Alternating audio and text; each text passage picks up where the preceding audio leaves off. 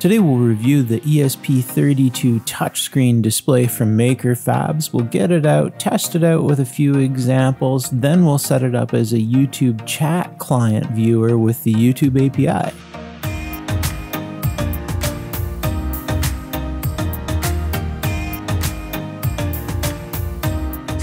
This should be a fun one today. From Makerfabs, we have the ESP32S2 parallel TFT touchscreen display. If you guys remember this PiPico kit, and I was really, really impressed by it. When they contacted me that they had this ESP32S2 board, I thought, geez, I wouldn't mind taking a look at that. This thing is just wicked cool looking. That is a nice little touch. It comes with an SD card in the unit, 16 gig SanDisk Ultra. Now that is pretty cool of them. We have the ESP32S2 on board, bunch of electronics, USB-C, uh, GPIO broken out, and our touchscreen display. They have pretty extensive little instructions on their website, and I think we should be able to get this working no problem. We have a reset and a flash button on board, and not much to it beyond that. This, I believe, is our capacitive touch control. Uh, they have a resistive touch unit as well, if you choose to go that route. Uh, but right now, the price point, I think, is quite reasonable on these. Uh, at time of filming, I think they were right around the $40 US mark. I, I don't think that's a bad deal at all for something like this, but we'll see how it performs. Right out of the box, let's see what it comes with for code on it. There is definitely an example sketch on board and I have automatic white balance on this camera right now so it's not going to be really indicative of what it looks like. Man, that's sharp.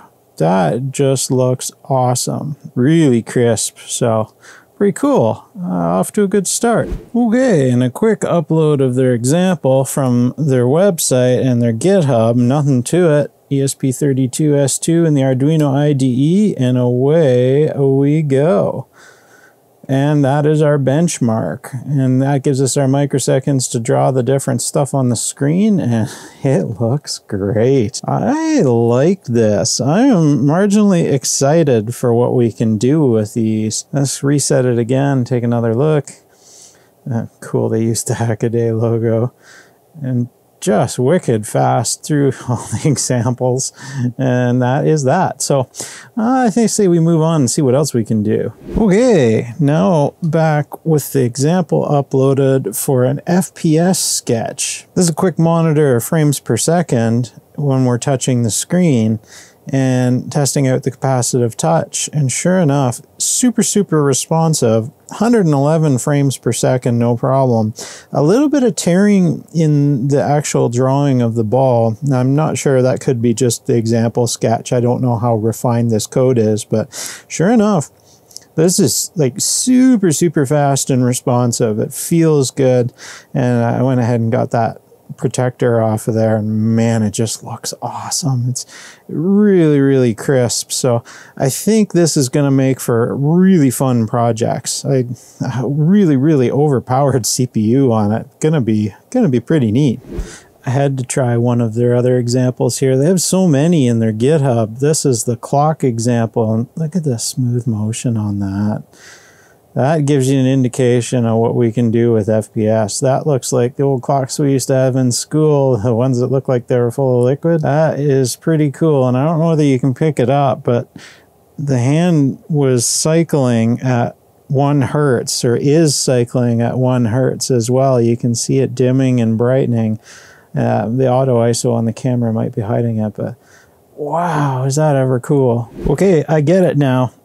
Check that out. This display is just wicked looking, and I get where we need the CPU horsepower now.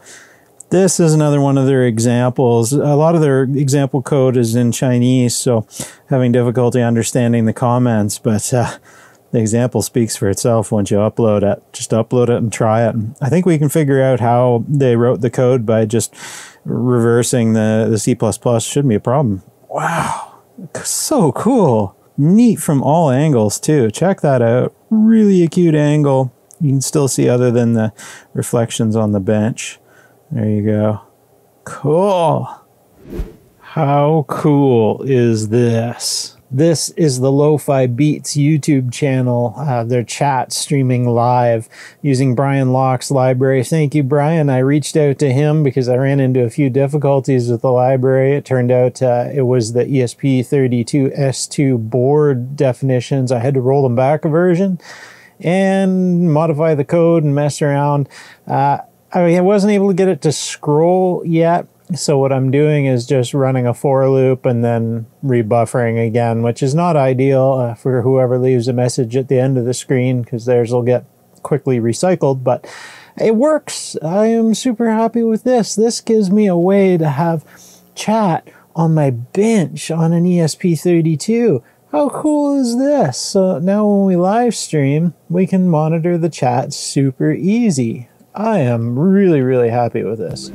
I wanted a nice enclosure to have this on my bench for the live stream, so I went to their GitHub and found the board files. I was able to pull those into what I had left of my Altium trial, and then I was able to export the board file so I could use it in Fusion 360. In Fusion 360, I used my generic box template I learned from Noe and Pedro on Adafruit's channel, just rescaled it to fit, then adjusted it with some holes and uh, the cutout for the screen and nothing to it. Then I printed it out on the i3 Mega. Made a little stand for the backside separately that glues on the back and it was all set. Enclosure STL files and all the code will be linked down below as usual.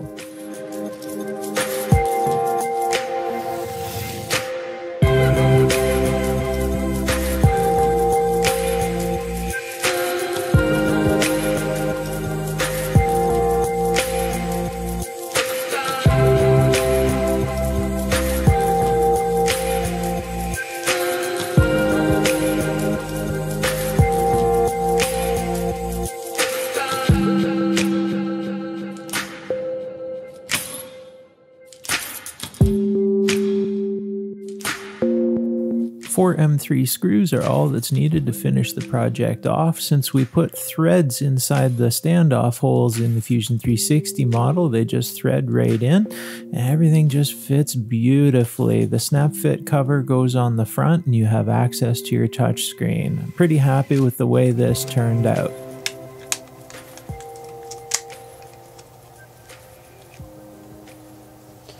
That is awesome.